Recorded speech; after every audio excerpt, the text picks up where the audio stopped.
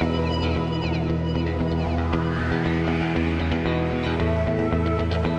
Lisa Eads. I am the president and co-founder of Jason's Friends Foundation.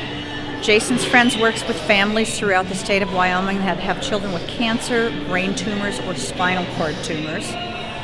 Wyoming does not have any kind of primary cancer treatment available for children, so they're traveling to Denver, Salt Lake, sometimes much further than that.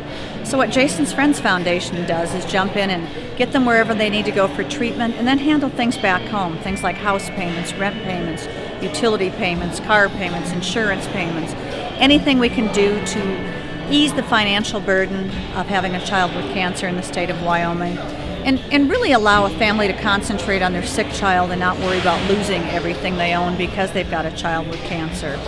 Uh, we're here for the long haul. We're not just you know going to pay a bill here and a bill there.